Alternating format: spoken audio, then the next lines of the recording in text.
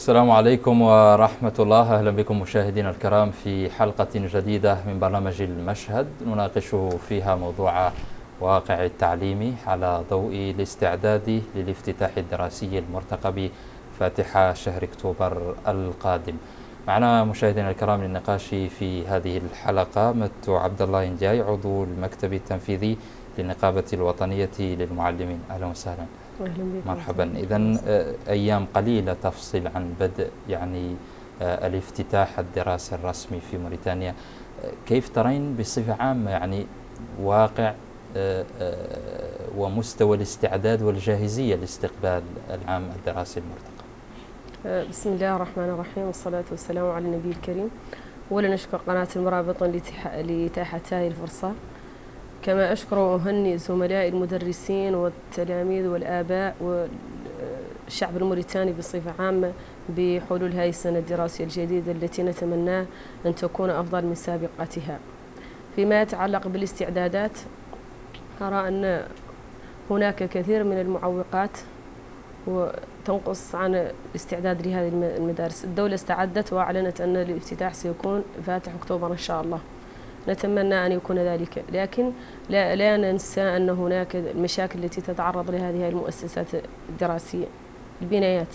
هناك بعض المؤسسات الدراسية التي لا تصلح لاستقبال التلاميذ خاصة بما أن موسم الأمطار هذه السنة تأخر كثيرا. هناك مناطق في الحوض الشرقي في الأعصاب في قرقل قديماقة مؤسساتها غير جاهزة لاستقبال التلاميذ. ناهيك عن بعض المؤسسات الموجودة حاليا في العاصمة التي فيها المياه متراكمة منذ سنتين. وحتى الطرق المؤدية لبعض المؤسسات تعرقل الوصول إليها. حتى في ساحات باحات المدرسة موجود الماء. هذه كلها معوقات تعرقل سير العمل العملية الدراسية.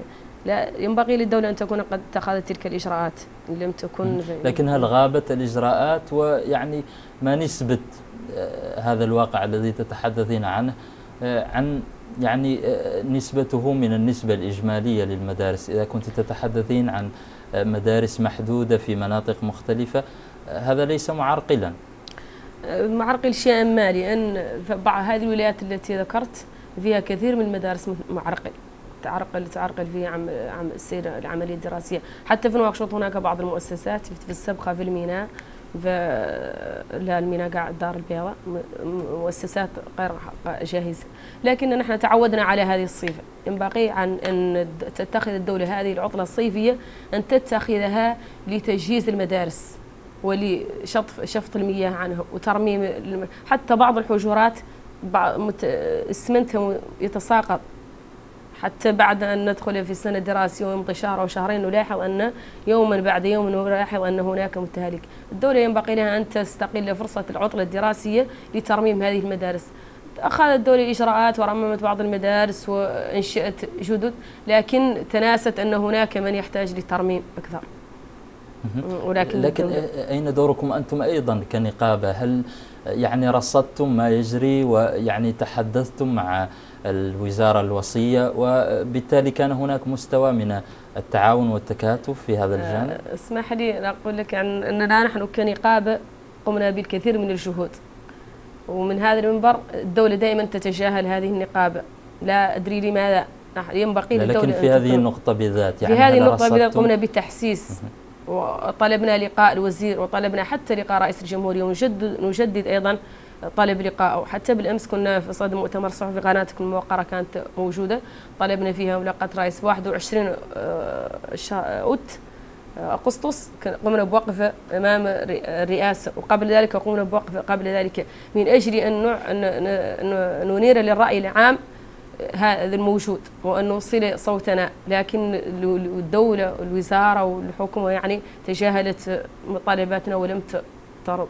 لكن نحن قمنا بالتحسيس على وسائل التواصل على النقابة عندها مجموعات تواصلية كثيرة برامج تطلق عليهم تحسيس للآباء وسائل التواصل, التواصل الاجتماعي. حتى الآن قمنا من قبل 15 يوم قمنا بالتحسيس على هذه الوسائل لضرورة تواجد المعلمين المدرسين في أماكن عملهم من أول يوم. ونلاحظ أن إن حتى إن عندما نمر بالمدارس أول يوم الافتتاح نلاحظ من سنة وسنتين أن أكثر تواجد نسبة المعلمين من التلاميذ. وهذا يعود إلى رابطة آباء التلاميذ. ينبغي أن يحسسون التلاميذ بضرورة الوصول إلى المؤسسات لأول يوم. عندما نلاحظ أول افتتاح نجد أن نسبة المدرسين تحضر بنسبة أكثر من 90% لكن الطلاب للأسف للأسف كثير من المؤسسات والأكثر لا يتجاوز 20 إلى 15% هذا الشيء مرصود دائما. نحن نقوم بدراسة عمليات شهر يوم الافتتاح. الدولة حسسنا وقمنا بها طلبنا حتى اللقاء من أجل الإشراك في العملية لكن الدولة لم تستجيب. يعني خلال يعني تقديم حصيلة الإنجازات التي قدمها وزير التهذيب كانت حصيلة يعني من عام 2009 إلى 2018 لكنها تضمنت بعض التفاصيل على مستوى بعض الأعوام. هل لاحظتم مثلا أنه بالفعل هناك تطور على مستوى المنشآت التعليمية على مستوى الاكتتاب على مستوى تجهيز القاعات وغير ذلك؟ هل حصل هذا بالفعل؟ هذا حصل ما حصل بالفعل شيء يذكر لكنه لا لا لا يكتفي بالجميع لأن هذه الحاصله التي تحدث عنها رئيس الجمهورية. نحن مثلا هناك بعض عنها وزير التدريب عفوا الوطني. وزير التدريب الوطني في الأمس بمناسبة الافتتاح الجديد. حصيلة موجود منها شيء. هم الدولة قامت بإعداد إنشأت مدارس جديدة. قامت بتجميع في بعض الولايات في بعض القرى في بعض المقاطعات. هذه خطوة جبارة لأن والله تجد معلم موجود في مدرسة فيها خمس تلاميذ أو ستة. هذه خطوة جبارة وتذكر فتشكر لكن مع إنشاء هذه المؤسسات الجديدة وبذل فيها الكثير تجاهلت أن هناك مؤسسات من السبعينيات من الثمانينات تحتاج إلى الترميم ولم ترمم حتى الآن. حتى موجودة هناك من هذه المدرسة رقم أربعة الموجودة في السبخة قرب المستصف ورغم ذلك الحصيلة ذلك تضمنت رقما بشأن عدد المدارس التي تم وما زال الاختيار وما زال النقص موجود حتى الآن. قضية الاكتتاب هناك خطأ كثير للأسف عن المدرسين موجودين لكنهم لم يستقلوا بصفة هي المطلوبة. كيف ذلك؟ تحويلات تحويلات لا تكون في صالح التلاميذ ولا في صالح المؤسسات. هناك قبن في بعض الولايات في التحويلات. حتى أنك المدرستين في يكون بينهم 500 متر تجد الواحده مكتظة طاقمها التربوي يزيد على بنيتها التربوية. والمدرسة التي بجانبها تكون أكبر بنية تربوية وفي أربع مدرسين أو خمسة. هذه مليئة بالمدرسين وهذا لا ماني بعد لا أريد أن أقلل من شأن زملائي وزميلاتي لكن هو الواقع. نحن يجب أن نتكلم عن الواقع كما هو. هذه المدرسة تشحن بالمدرسين والمدرسات ربما لتغطية عليهم وربما ل الله أعلم الدولة أخبر في ذلك. والمدرسة التي بجانبها تكون مكتظة فيها أربع مدرسين أو خمسة ومحمول عليهم حمل 12 فصل قسم تربوي والله 13 هذا الدولة لم تتخذ الإجراءات اللازمة في توزيع المدرسين كما ينبغي مع الاكتظاظ الموجود التام في المؤسسات التربوية. حتى في العاصمة نواكشوط حتى في أي نقطة من موريتانيا تجبر أن اقتضاء الطلاب ما زال قائم حتى الآن. إذا الإشكال بالنسبة لكم في النقطة مم. المتعلقة بالمدرسين مم. يكمن فقط في طبيعة التوزيع وليس في العدد؟ يعني العدد كافي العدد لكنه غير أعتقد موزع أن العدد أعتقد أن العدد عندما يسير كما ينبغي أنه سيغطي نسبة كثيرة من النقص. هذا معنى أن الدولة يجب أن تكون تكتب دائما نحن نجد فصل فيه 98 تلميذ 70 في العاصمة هون في الفصول فيها 100 زايدة. أنا درست خمس سنوات في الداخل كنت ندرس 100 100 زايدة. في كي هيدي العاصمة؟ وجيت لنواكشوط وجبرت نفس الإشكالية نحن قاعد قلنا عن هذه البوادي وبعيد ولا كل لماذا المعلم يوفقت البادية؟ ولماذا ما يعلم المعلم يوفقت سياني شأن المعلم في العاصمة شأنه في الريف وشأنه في المدينة وشأنه في لكن يجب أن يتخذ مع المعلم طريقة يستطيع أن يؤدي بها واجبه. المعلم ما يدور عود قاني ولا يعود عود ثري. يدور لا طريقة يعيش هو بها ويعيش بها أولاده كما ينبغي. ما يدور فرلقينا من كافي أنه عنده مهنة. قال الله الرسول صلى الله عليه وسلم إنما بعثت معلما. هذا شرف للمعلم كبير إنه مقرع إنه معلم وتوفقه ولا يؤدي هذه هذه الماشي غير يلا الدولة اللي تطرح المعلم في الحسبان. إنه ما يدور الاستغناء ولا يدور عود قانون ولا يدور عود ذريه غير يدور في الطريقة اللي يعيش بها هو مع الظروف اللي موجودة حاليا في البلد. ظروف الإسعار وظروف تدريس تركة وتدريس. معلم الناس يلقون إحنا شلون بيقترح حواش وعود عنده هون ست شاشر والله سبعة. ولا بد لهم من السكن والوكيل والشراب. ونعود نعرف نحن بيننا مع ذاك الراتب اللي يتقاضى وذيك العلوات اللي تبار هذا ما يعود عادل هو بسم يقعد قاعد يقرب بسم الحال يعود يقدم آه، مطمئن هو مرتاح البال. وتخمام وراه لا في الشاشة كانوا بكالوا كانوا مقرا وكانوا الدواء وكانوا.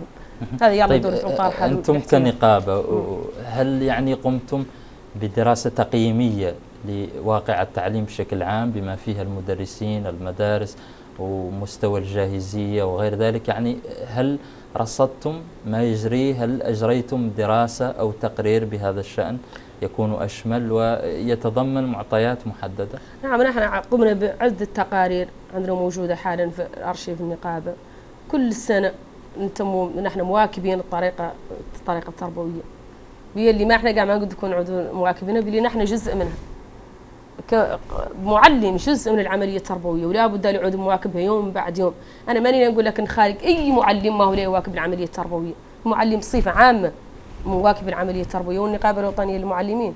بواكب العملية التربوية من أول يوم الافتتاح إلى 12 شهر على 12 شهر. حتى في العطلة الصيفية ما تقبل الراحة عن عمل عمل التربوي وعن مواكبته وعن رصد جهود اللي الله يعدلوا الماء الله يعدلوا الاختلالات والمعوقات والحلول. هذا نحن الحمد لله عندنا فيه مواكبين يوميا واسبوعيا. ويلا نعود الوزارة تعود معنا شراكة. لو أن اجبرنا آذان صاقيه من طرف الوزارة والله من طرف القائمين على الشأن يعود حلت المشاكل والله بعد انقطع على شيء منها. معنينا نقول لك كامل غير بعد انقطع على انقطع على شيء منها. بي اللي نحن بادرين جهدنا في ذا. وبادرين في القائد النفسي لأنه باخلين شيء ما عند التحسيس. من عاد إحنا طلبنا لقاء الوزير طلبنا لقاء الرئيس ودارينا وعدلنا مؤتمر مؤتمرات التالي من اللي عدلنا أمس. وياك نيروا للرأي العام على مواكبين العمل التربوي إن هذا همنا. نحن شي من مدرسين وعندنا أولاد وأولاد إخوة ندرس العملية التربويه ما لنا لنا ما نهانين عنها بأي صفة. إلين إن شاء الله تتحسن وتمرق الظروف اللي هي طيب ما أبرز المشاكل بالنسبة لكم؟ ونحن على بعد أيام قليلة من الافتتاح الدراسي قلت لك أنا أبرز اللي شفنا موجود إن ما زال في بعض المؤسسات اللي ما هي جاهزة لفتحات التدريس. ما هي جاهزة على التدريس قلت لك فيها المياه. طيب هذه النقطة تحدثت عنها. هل هناك يعني عنها. جوانب أخرى أساسية رئيسية ماثلة. قبل الافتتاح الدراسي؟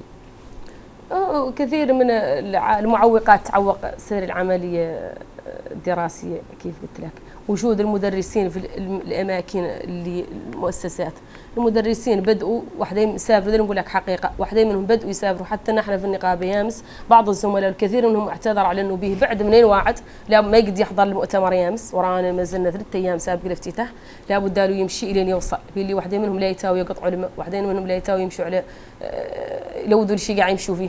لا يفوتوا نهار والله نهارين واقفين قريه والله في ريحان ويجبروا شاريت والله فراس والله وتترفدهم شرب اللي واعدين. هذا الحقيقة.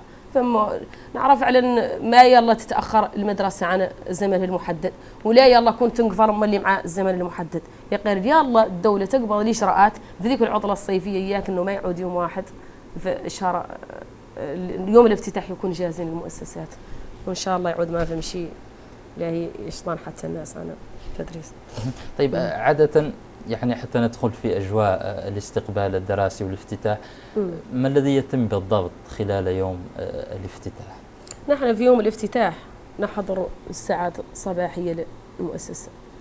نستقبل. هناك بعض المديرين المدارس. ونختار نخرج عن الموضوع. شوي نقول على أن مديرين المدارس الأساسية للأسف اللي ما معطية المدرسة الأساسية اللي ما هي معتبرة أنها مدرسة أساسية. ما زال ينقال هيكل تربوي اللي ما عنده قاع فم نقطة في وزارة المالية. هذا ذا اللي قال مدير المدرسة الأساسية. وشفت بعض المديرين الإعداديات دائما يوص يشول المؤسسات سابق الافتتاح بأسبوع ويبدأوا يستقبلوا الطلاب يسجلوا الناس جديدة ويعدلوا التحويلات ويجهزوا قاعاتهم ويجهزوا. هذا عمل من من المدير الراس وعود معاه طاقم والله يعود معاه بعض طاقم والله يتفا يعدلوا مناوبة إياك يعودوا يعدلوا هذا. الاخرين يوم الافتتاح مالك لا تجبر مؤسسه ما جبرت مديرها واقف. ومعاه اللي عاد ما هو الطاقم كامل قليل بعدك اللي لا تجبر منه ما هو فهم ولا يعود حاصل ولا اللي عاد مسالم سافر والله اللي عاد عنده ظروف صحية هي اللي حاكمته. تجبر الطاقم موجود هذا المعلمين والمدرسين بصفة عامة ذا حق عندهم. طالعين وجايين. ذا اللي معدلهم كامل وطالبتهم حقوقهم اللي ما هي معطية ما هو ثانيهم عنهم يؤدوا العمل اللي يعني يعني ولا إن شاء الله الدولة تعود راعيه لهم ذاك تعدلهم مشاهدينا الكرام نتوقف مع فاصل قصير ثم نعود. ابقوا معنا.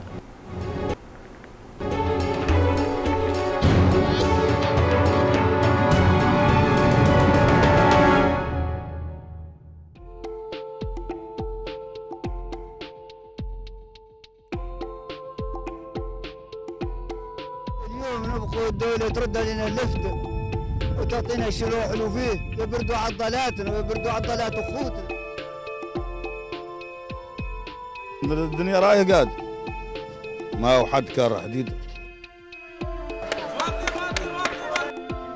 ما شاء الله. خير معرن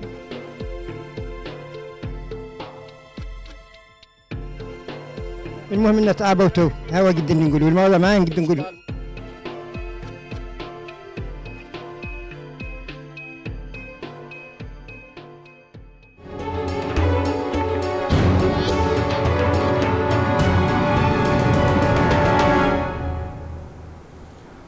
أهلا بكم مشاهدينا الكرام من جديد في الجزء الثاني من هذه الحلقة من برنامجكم المشهد والتي نتحدث فيها عن التعليم وأجواء الاستعداد لافتتاح عام دراسي جديد يرتقب أن يكون فاتح شهر أكتوبر القادم مع ضيفتنا متو عبد الله نجاي عضو المكتب التنفيذي للنقابة الوطنية للمعلمين. أهلا من جديد. يعني تحدثنا عن جانب يتعلق بمستوى الاستعداد من حيث يعني جاهزية المدارس وغير ذلك. ماذا عن المدرس أيضا؟ هو يستقبل عام دراسي جديد. ما أبرز تحدياته وما الآمال أيضا المعقودة عليه في العام الدراسي الجديد المرتقب؟ بسم الله الرحمن الرحيم. مرحبا بكم من جديد المدرس توقعت عليه كل الآمال لأن الإنشاح العملية التربوية يبدأ من المدرس وخاصة المدرس التعليم الأساسي. لا يخفى على أحد أن اللبنة الأساسية عندما توضع وضع وضع سليم وصحيح سيكون سينمو ما قبلها سيتأسس أس جيد أما إذا انهار الأس فإن ما فوقه سينهار حتما. المدرس وكيف المدرس التعليم الأساسي عليه عليه تكرر العملية التربوية كاملة. وللأسف نحن هنا في الدولة اسمح لي نقول لك على أن ما عاطينه قيمته. ناسين عن الدار لين ما تؤسس السنتين على انها دور الطيح. نحن هنا نكرموا التعليم الاعدادي والثانوي والعالي ونعطوه زخامة كبار من قدو.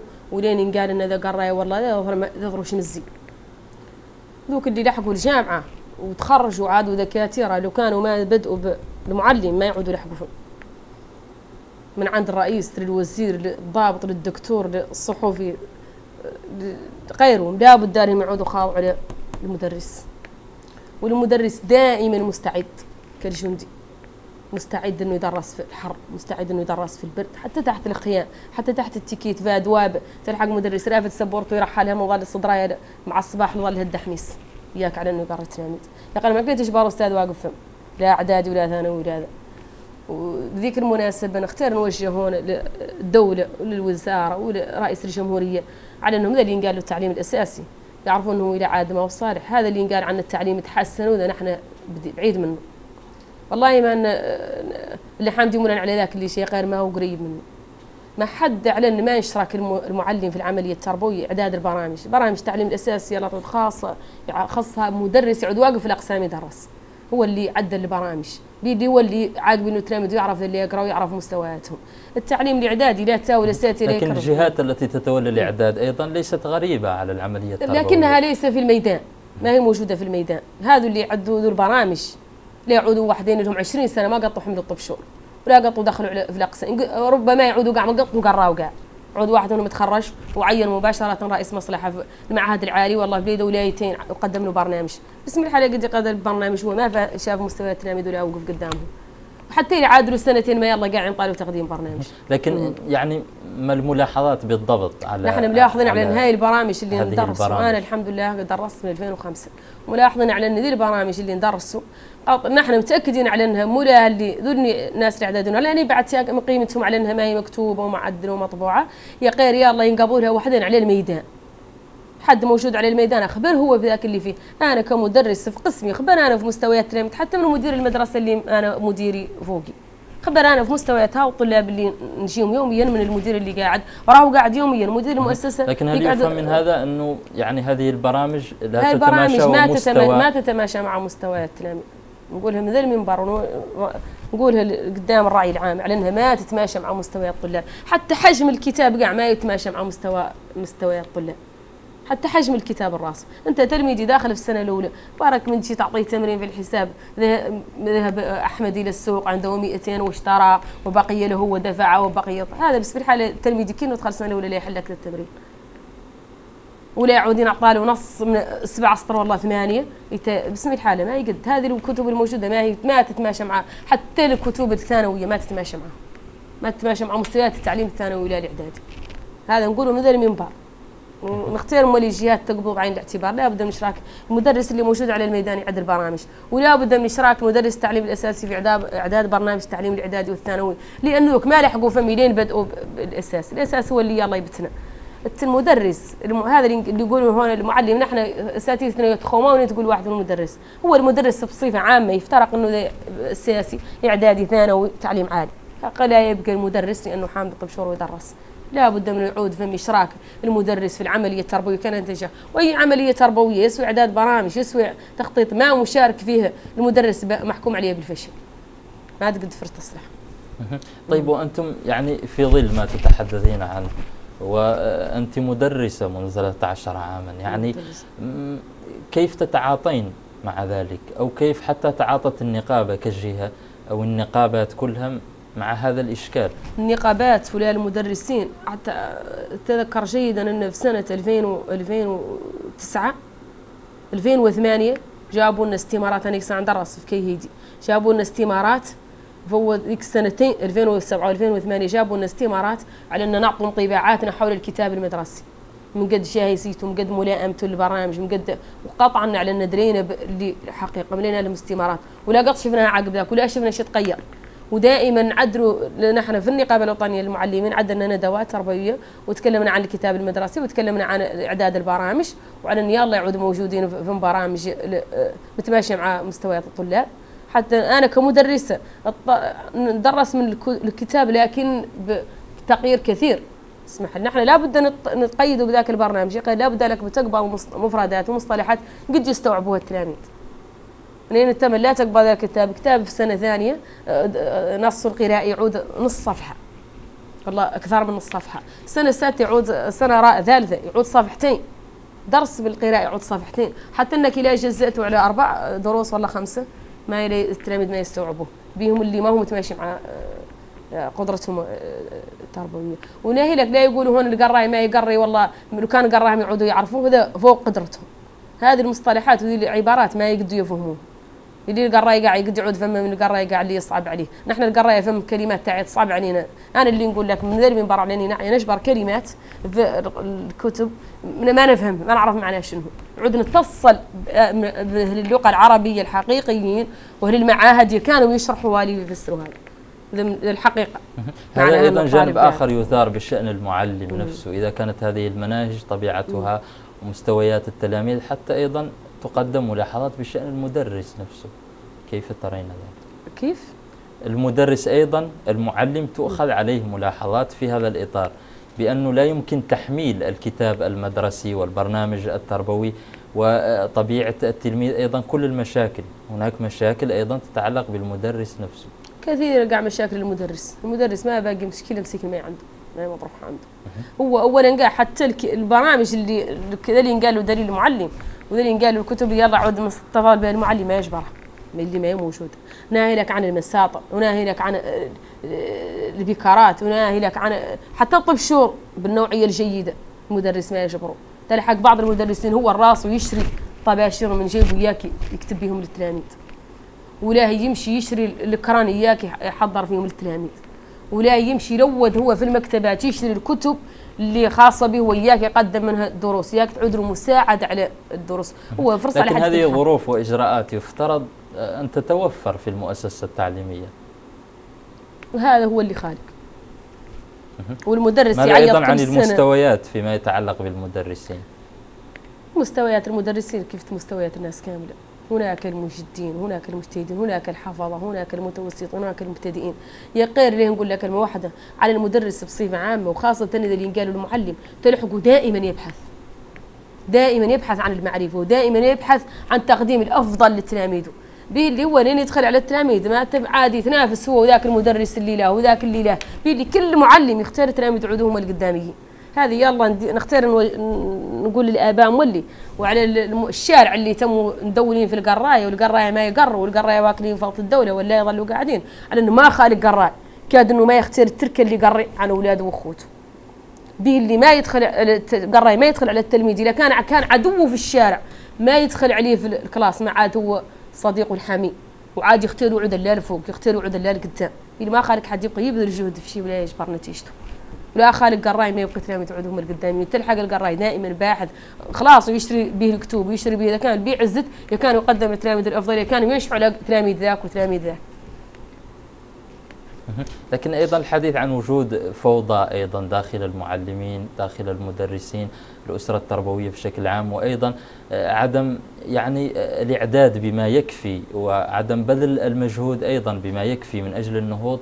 بمستويات التلاميذ وهذا يلاحظ وينعكس على أيضا نسب النجاح. هذه أيضا ملاحظات تطرح بشأن المدرس صحيح.